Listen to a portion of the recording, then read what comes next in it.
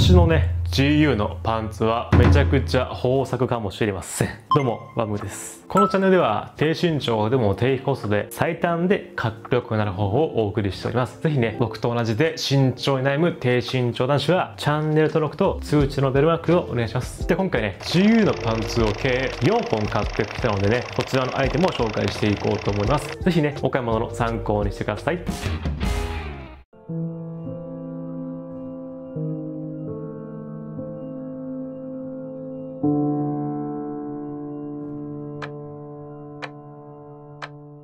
まず1本目から紹介していきます。それがこちらのアイテムでございます。こちらねブラックのデニムが見えますでしょうか。こちらですね。商品名がバレルレッグジーンズでございます。前回ねバレルレッグジーンズのインディゴかな。ブルーを買ってきたんですけどもあれがね良かったのとあとはこのブラックもねめちゃくちゃいい色味をしてるんでね紹介したいなと思って今回買ってきました。サイズがね 29S サイズ相当を履いてましてお値段が2990円。そう悪魔の数字ってことでねめちゃくちゃ安い。100%ねコットンで作られておりますと。GU とかの安いアイテムってポリエステルとかだと結構安っぽさが目立ったりもしないこともないっていうか正直安っということもあんねんけどもメインやとねやっぱ安っぽいのがバレにくいから非常にねデニムシリーズは GU でかっこいいものが多いですよね。でバレるっていうのはね何の意味か分かりますか？僕はねちゃんと勉強してきたんで分かるんですが樽をね意味しておりましてまずここの足の付け根が細くてで真ん中が太くてで裾は細いっていうね丸い体型をねしているんですよね。で女性で言うとね僕も丸い体型の方好きなんでね非常にまあ魅力的に感じるシルエットでございます。で今回ねブラックとさっき言ったちゃいましたがダークグレーでございますね。限りなくブラックに近いダークグレーでございます。ダークグレーの生地にブラックのステッチが使われていますので本当にシン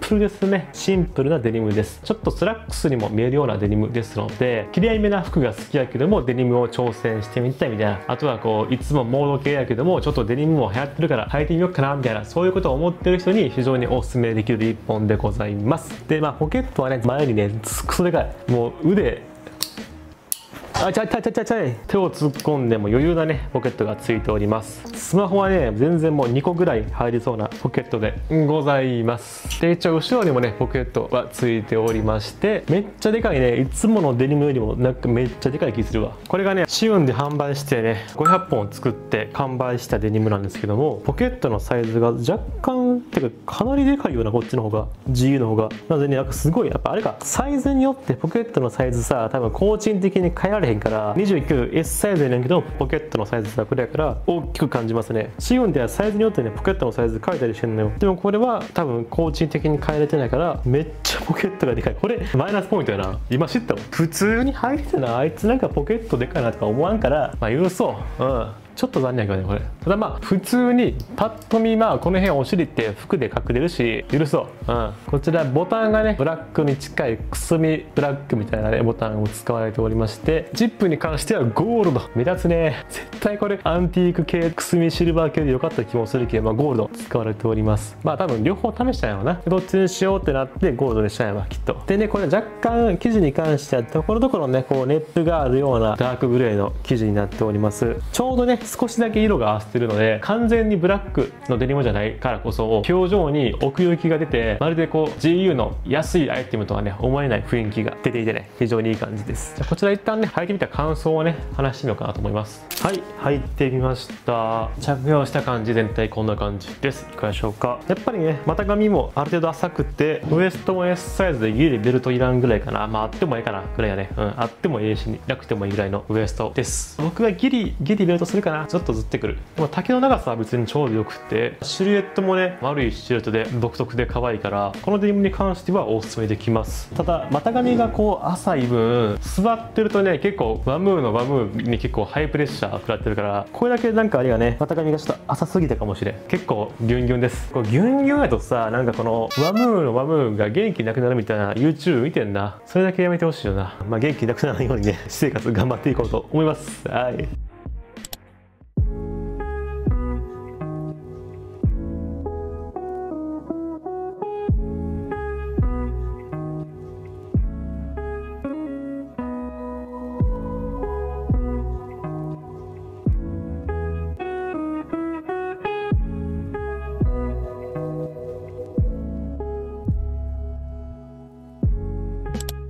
次ね気になってたパンツこちら。いいよなこういうこういうなんかさレトロクラシックなストライプのスラックス？今気分の人多いやろうからこちら紹介していきます。色味がねパッと見パープルやねんけど表記はダークグレーらしいです嘘つけ。あー確かに。紫みのあるグレーって感じかな。これマジ？僕だけこれ？ちょっとパープル入ってる見えんのこれちょっとパープル入ってない？入ってる？ネイビーに見えるネイビーっぽいよな。パープルから見てもやんな。グレーにあんま見えない。見えへんよな。自然光で今見てんねんけど照明が変とかじゃないんよ。自然光でこれやから。ガチか。タグミスじゃなかったら一応これダークグレーです。はい。確かにダークグレーって言い張れば言い張れそうな。たまにねあるんですよね。こうアイテム作っててダークグレーで制作進めててこっちの方が色いいんじゃねってなってちょっとパープルっぽくなっちゃったけどダークグレーでもう発注してるからダークグレートーストがあってチウンっていう僕がディレクションしてるブランドだと 24SS のコートかな。あれ確かミリタリーグレーとかで出してんけど当初ねコールブラックやったんよ。あれどう見てももうコールブラックに見えへんけどもうコールブラックのコートを作っていく段階でちょっとずつずれていってあれに落ち着いてコールブラックで発注しちゃっててで上からこうシール貼ってミリタリーグレーに張り替えてんけど多分そういう背景があるんちゃうかなこれ。ありそう。でスラックスでですね。サイズ S 買ってきておりましてお値段が29安いね。ツータックバギースラックスっていう商品名でね。100%ポリエステルのアイテムでございます。ウール調のポリエステルを使っております。でこのストライプのデザインもですねこうちょんちょんちょんちょんとねまるでこうステッチを打ったようなストライプのデザインになっていてこのねちょんちょんちょんがこの古着感というかすごいクラシックなアイテムやねんけどもこういうストライプとか色味の表現によって可愛げのあるねアイテムになっております。フロントはこのようにすごいねボタンが内側にホックがついているシンプルな作りでございましてそしてこちら開けるとプラスチックのジップがついております。僕は最近このプラスチックのジップをね意外といいなって思ってるんですよね。前まではジップってこう金属一択って思ってたけど金属だと締めにくい時もちょいちょいあったりするからプラスチックの方が履きやすい。むずいよねその辺。ボタンフライもかっこいいねんけどな。僕の好きな順番で言うとねボタンフライが一番好き。理由がかっこいいから不便やけど。で2番目がプラスチック。3番目が金属のファスナーでございます。ぜひねここ試験出るんでノートに書いてください。裏がねこんな感じです。左ポケットにフラップはついておりましてこちらボタン取るとねポケットも使えます。これによってタックインとかねした時に見え方がかっこいいよな。両方つけてもよかったけどパーツが増えれば増えるほど工賃が上がっちゃうので2990円というめちゃくちゃ安い金額では1個は限界だったのかもしれない。それかまあデザインで1個にしてるかどっちか。でこちらもねポケットも大きくて拳1個分ぐらいなら全然入ります。前のポケットもね全然携帯とか財布ぐらいなら全然入るサイズ感をしております。ここぐらいまで入る。でセンタープレスがねみっ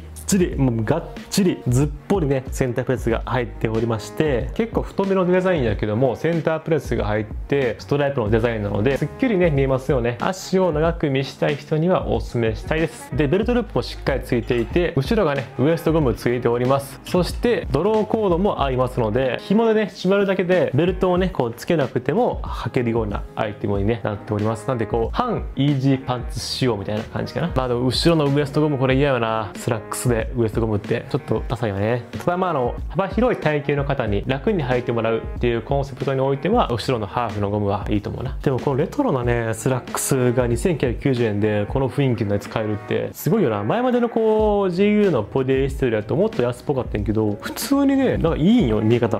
GU のねポリエステルもね多分進化してますね。じゃこちら履いていこうと思います。はい履いてみました。めっちゃ楽。生地も薄いんでね履いてて、まあ、真夏でも全然履けます。すっごく軽くて柔らかくてウエストゴム楽で。で股上もね深すぎず浅すぎずってちょうどいいから座っても大丈夫やしもうすっごい楽ですね。裾上げいらんっていうところが神ですね。僕の普段のファッションには正直ねこれね今履いてみて思ったけど合わへん。これで履くなら上も結構なんかツヤ感のある自由で売ってるさ EG ケアのシャツとかのホワイトとかねそっち系と合わせた方がいいかな。結構あのツヤ感のあって綺麗めな雰囲気から僕は結構普段こういうガサッとしたさコットンとかそっち系のアイテムを着ることが多いから今の着てるトップスに合わへんけどねこのねパンツに合うコードをね今から噛んでますのでね。よかったらこちらコードもね何個か組んだんで参考にしてください。ではコード。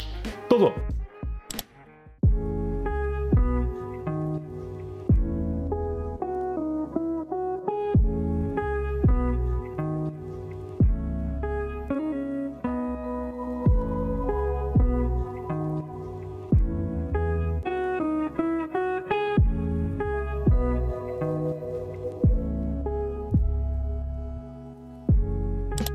3点目こちらのチノパンツでございます。チノ。いいよねチノって。商品名がチノツータックバギースラックスでございまして。素材がね65ポリエステル35綿の素材でございまして。すごい丈夫でね軽い生地になっております。今回30にベージュを買ってきました。まあ一番こうチノパンっぽいベージュにねしました。こちらツータックがねドンドンと入っておりましてセンタープレスはチノパンなのでないけどもアイロンでプレスすればつけれるぐらいの感じですね。結構太めのスラックスになっておりまして生地もねさっき紹介したこちらのスラックスよりもかなりこう厚いんでしっかりとチノパンって感じかな。でこのしっかりとしたチノパンで太くていい感じのシルエットのパンツってなかなかプチプラ体にはなかったんですけどもねついに出ましたって感じです。生地もねほんまいい意味である程度分厚くてゴワゴワしてるから古着でたまにあるオーバーサイズで履けるチノパンとかあんねんけどそれです。古着でたまにあるやつを自由で安定的に買えるっていう。これ結構いいなと思ったから今回買ってきました。この辺の作りはさっきと同じでねホックがついていましてここにねプラスチックのジッパーついております。ポケットのサイズもまあまあ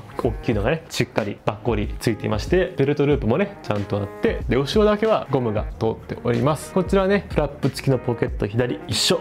で右はねこちら切り込みのポケット1つ。一緒。で真ん中にも結構ねこう深いダボっとした感じなので多分一緒ですね。シルエットはほぼ一緒やけども生地だけ変えてきたチノパンって感じかな。じゃあここも一回履いてみようか。一緒なのかどうかね。確かめていこうと。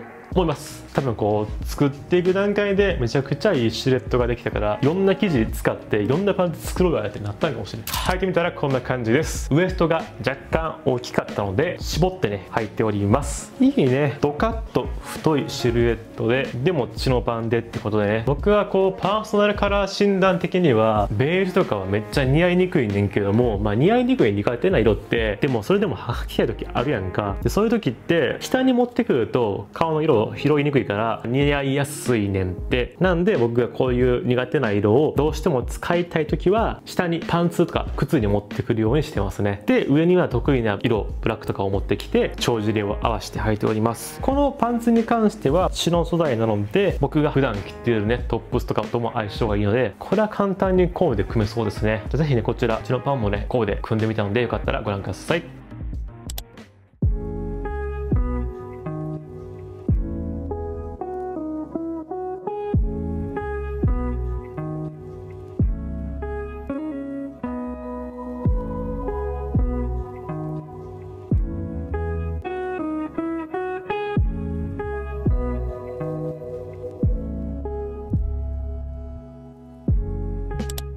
これが一番いいかもしれん。次はこちら。さっきとはね形一緒なんよ。ツータックバギースラックスでございます。さっきのネイビーの自称ダークグレーのストライプのパンツがツータックバギースラックスストライプってやつで今回はね普通のツータックバギースラックスでございます。こっちの方がね生地感的に若干秋冬っぽい雰囲気を感じんねんけどもそれでもね生地がこう薄いので夏でも全然履いていけるようなパンツに仕上がっております。これ売れるよいいもん。でね俺なんかさっきと同じで299安すぎる。で2タックがどんどんとバックコーで入っていてこれはねスラックスなのでみんなが大好きセンタープレスも入っております。僕の個体だけかもしれへんけどちょっとねセンタープレスがなんか弱そうなんで多分すぐ取れますね。取れたらまだねプレスすれば OK ポケットもね全く一緒やもう北海出た感じ。一緒のポケットがついててここも一緒。ホックプラスチックファスナーベルトループです。はい。ファスナーで思い出したけど菅氏顔のファスナーっていう歌めっちゃいいよな。昔聴いてた。なんかふと思い出したわ。で後ろも一緒。ゴムついてます。ゴムいらませんってことでね。はい。こちらフラップがちゃんと左打ちついていましてボタンがねダークブラウンとかグレーっぽいボタンが使われております。でこちらポケットがついています。このパンツのいいとこはねデザインももちろんめちゃくちゃいいねんけど生地やね絡めがブラウンやねんけども単調なブラウンではなくてこのようにねいろんな色が混じったようなブラウンをしているんですよ。なんでほらこうやって見た感じでもさ明らかなんか奥行きあるやん。なんかちゃうやん雰囲気。そんなね奥行きが出ます。はい奥行きって何回言うねんって。なんでマジ2990円見えへんし生地もこの距離とかある一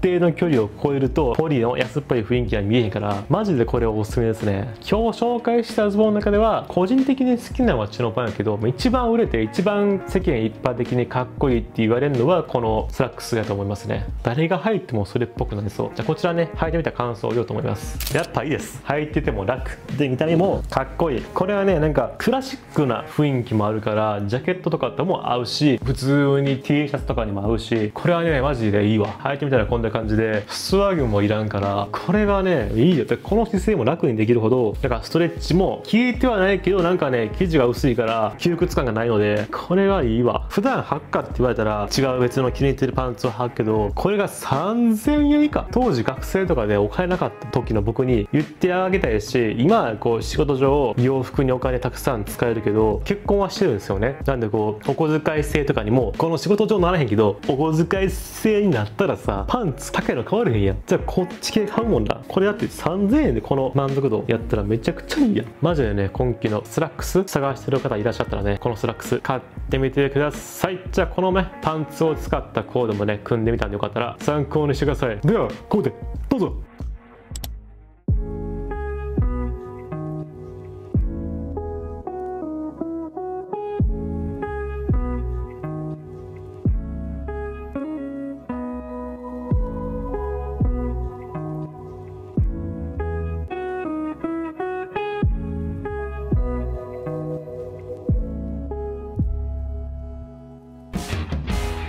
で今回もねご視聴いただきましたこのチャンネルではですね低身長でも低コスで最短でねかっこよくなる方法をお送りしております。ぜひねチャンネル登録と通知のベルマークをお願いします。ではまたお会いしましょう。以上ありがとうバイバイ。よっしゃ。